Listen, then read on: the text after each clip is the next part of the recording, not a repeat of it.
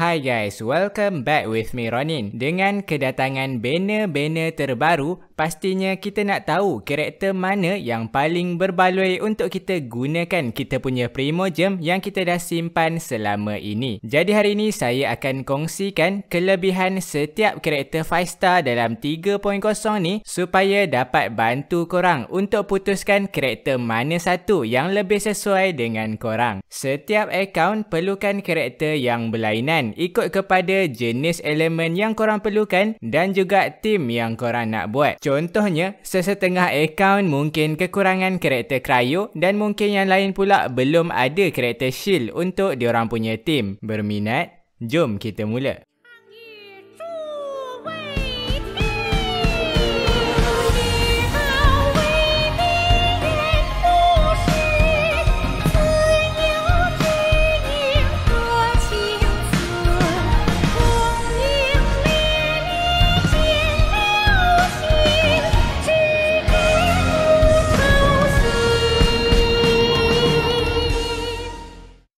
Karakter 5 star Dendro baru dalam versi 3.0 ialah Tignari. Damage utama dari Tignari ni datang dari dia punya charge attack. Kelebihan untuk charge attack Tignari adalah ia akan hasilkan beberapa damage Dendro kecil yang akan kena dekat satu enemy. Ini membuatkan Tignari lebih kepada karakter yang single target dan sesuai untuk lawan enemy dalam bilangan yang tidak terlalu ramai. Yang specialnya tentang Tignari ni selepas dia gunakan elemental skill dia boleh tembak sebanyak 3 charge attack dengan laju. Ini membolehkan dia untuk keluarkan jumlah damage yang banyak dalam tempoh masa yang singkat. Dengan adanya artifact baru untuk karakter Dendro dan juga elemental reaction baru antara Dendro dan Electro iaitu Catalyze, kita dah boleh dapat gambaran yang karakter ni akan jadi karakter yang sangat bagus. Namun begitu, tidak ada sebab untuk korang dapatkan menggunakan karakter Tignari ni melainkan korang saja nak try untuk buat tim yang baru. Mungkin satu hari nanti Dendro DPS macam ni akan diperlukan tapi buat masa sekarang kalau korang nak skip dia pun tak ada masalah. Walaupun Tignari akan masuk ke standard banner, ini tak bermakna yang senang-senang je kita boleh dapat karakter ni nanti. Tapi sekurang-kurangnya ada peluang lah kan nak dapatkan dia selepas banner dia habis. Karakter 4 star Dendro pula iaitu Cole, dia ni korang boleh dapat secara percuma dalam event Graven Innocence since Maka saya tak sarankan korang untuk wish Constellation College kalau korang tak berminat dengan dua lagi karakter 4 star dalam banner ini. Berdasarkan pengalaman saya, agak suka sebenarnya kita nak dapatkan 4 star yang kita target melainkan korang punya luck tu betul-betul tinggi. Kemudian kita move on pula kepada karakter kedua iaitu Zhongli yang mana ini adalah banner dia yang keempat guys. Sebab utama kenapa Zhongli ni adalah karakter shield yang paling bagus dalam Genshin ialah yang pertama kita senang nak guna shield dia dan yang kedua shield dia paling keras antara semua karakter. Ada dua karakter yang sangat popular untuk digunakan bersama dengan Zhongli iaitu karakter Hu Tao dan juga Xiao. Untuk Hu Tao, dia punya elemental skill akan kurangkan dia punya HP dan macam yang kita tahu Hu Tao kena berada pada HP yang rendah barulah nanti damage dia akan tinggi. Jadi Zhongli memang sangat penting untuk elakkan hutau dari terkena damage ketika nyawa dia rendah. Untuk Xiao pula, Zhongli bukan saja melindungi dia, malah shield Zhongli juga boleh menurunkan resistant enemy terhadap semua jenis damage membuatkan damage Xiao akan lebih tinggi. Tambahan pula, kita tak ada ramai karakter yang boleh menurunkan resistant terhadap enemo damage melainkan korang ada constellation macam constellation Jin dan juga constellation Venti. Oleh sebab tu, Zhongli menjadi satu karakter yang berharga untuk korang dapatkan sekiranya korang memiliki Hu Tao dan juga Xiao.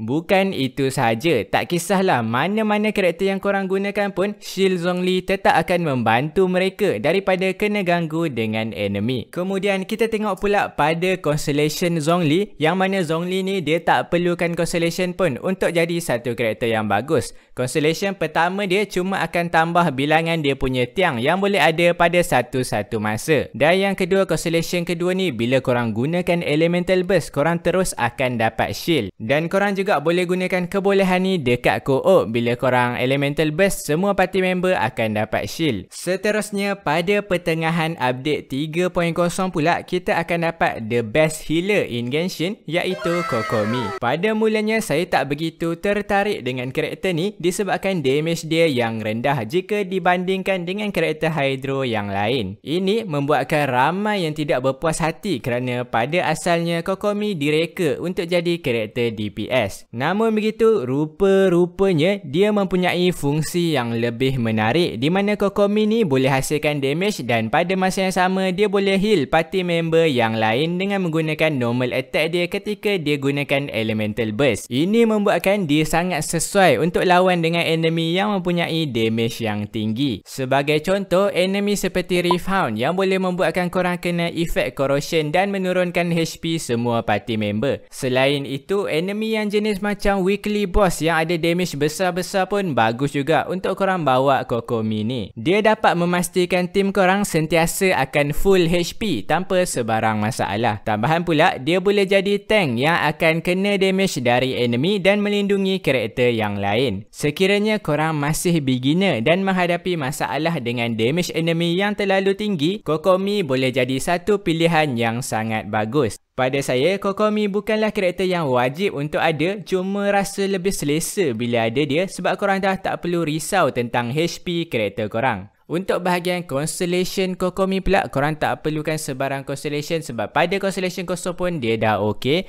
Untuk Constellation yang pertama dia sebenarnya sangat bagus. Ini meningkatkan dia punya damage sangat tinggi, lebih kurang 30% tambahan extra damage untuk korang punya Kokomi. Kemudian karakter yang akan bersama dengan Kokomi ialah Ganyu. Dan sebelum kita bahas tentang karakter ni, apa kata kita tengok dulu intro untuk Ganyu.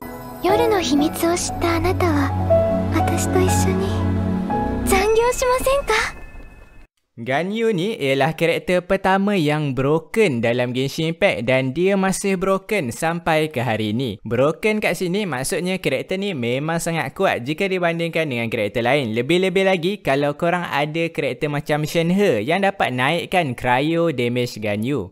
Satu perkara yang korang kena take note ialah Ganyu ni karakter yang fokus dekat charge attack. Jadi kalau korang main dekat phone mungkin akan ambil sikit masa untuk korang biasakan guna charge attack Ganyu ni. Dia mempunyai dua jenis playstyle yang korang boleh pilih iaitu Freeze dan juga Melt. Dalam Freeze team, kita akan gunakan Ganyu dengan karakter Hydro untuk bekukan enemy bagi memudahkan Ganyu untuk tembak diorang dengan charge attack yang dia ada. Untuk Melt team pula, Ganyu akan digunakan dengan karakter Pyro untuk hasilkan reaction Melt. Dalam team yang macam ni, korang akan perlukan shield lah sebab Ganyu dia akan tembak dari jarak yang dekat. Tak kisah mana-mana team pun yang korang pilih, Ganyu akan tetap hasilkan damage yang lumayan besar. Jadi sekiranya korang mencari karakter Cryo untuk dijadikan DPS, pastikan korang simpan Primogem untuk banner dia dan korang pasti akan berpuas hati. Sama juga dengan Kokomi dan Zhongli, Ganyu sesuai untuk golongan yang free to play kerana dia punya best 4 star weapon adalah weapon prototype Crescent yang mana weapon ni korang boleh forge secara percuma. Untuk Ganyu ni, weapon 5 star lebih meningkatkan damage dia jika dibandingkan dengan dia punya Constellation pertama. Yang mana Constellation pertama ni, dia akan tambahkan damage dia tak begitu banyak. Cuma yang bagusnya, korang akan dapat Elemental Burst dengan lebih cepat sebab dia akan bagi lebih banyak energi. Constellation kedua pun biasa-biasa je, korang boleh gunakan elemental skill dua kali. Akhir sekali, tak lengkap lah video ni kan kalau kita tak bincangkan tentang karakter 3.1 yang akan datang nanti. Tiga karakter yang kita akan dapat ialah yang pertama karakter Sino iaitu 5 star Electro. Kemudian karakter Nilo 5 star Hydro dan akhir sekali karakter Candace karakter 4 star Hydro. Dari segi design, mungkin yang saya paling minat adalah karakter Sino dan saya harap karakter ni adalah karakter DPS Electro. Antara tiga ni, mana satu design yang menambat hati korang, korang boleh komen dekat bawah. Walaupun kita belum tahu lagi elemental skill dan elemental burst karakter-karakter baru ni, pastinya ramai yang dah sediakan diorang punya Primogem untuk Wish sebab diorang minat dengan penampilan karakter baru dan tak kisah sangat dengan yang selebihnya. Sekiranya korang menantikan karakter baru ni iaitu Saino, Nilo ataupun Candace, maka versi 3.0